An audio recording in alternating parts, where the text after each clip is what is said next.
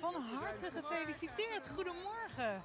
50. Een bijzondere leeftijd, hoe voelt dat? Nou, het voelt gewoon als weer een prachtige dag. Weer een prachtige Koningsdag nu in Tilburg. Zon erbij, ontzettend veel mensen, warmte. Gewoon echt een heel warm bad. Het is gewoon een prachtige verjaardag. Het had niet mooier kunnen zijn dan dit. Het voelt niet anders dan toen u nog 40er was? Absoluut niet. Uh, het voelt ook niet anders dan ik 30 was. Ik voel me gewoon helemaal gelukkig. Ik ben jarig vandaag en het vieren het met zoveel mensen samen. het is echt gewoon zo'n warm bad in het hele Tilburg.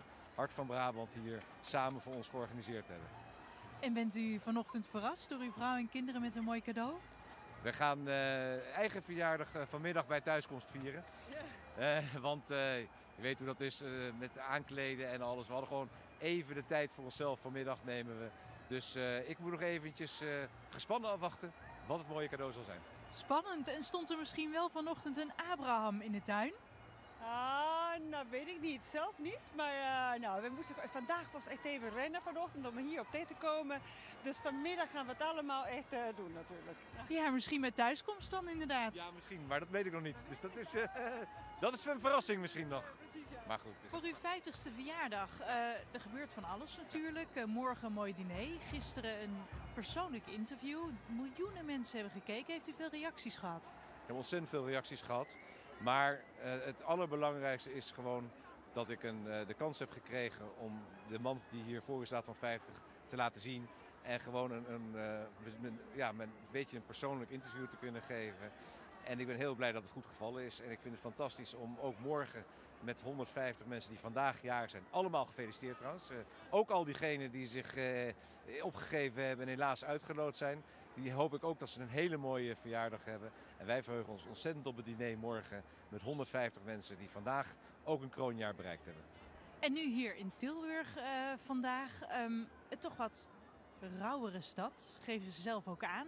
Ze laten een beetje een rauw randje zien. Het is anders dan anders. Hoe voelt dat voor u? Nou, ik vind het juist uh, het mooie te zien dat een, een, een industriestad, een, een, stad met een verleden, zeker een heden en een grote toekomst heeft.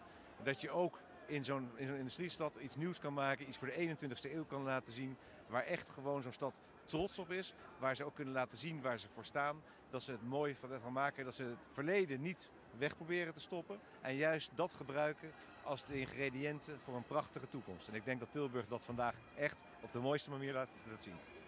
Ze zijn hier niet bij, dus ik vraag het heel even aan u. Hebben de dames het ook naar hun zin hier? Nou, ja, absoluut. Ik denk dat we, we hebben het allemaal naar ons zin. Uh, in de zin van uh, niet alleen maar gewoon wat alles wordt georganiseerd. Ook uh, wat mijn man, net zei, de warmte van de mensen. Maar ook die uitstraling van de gezamenlijkheid.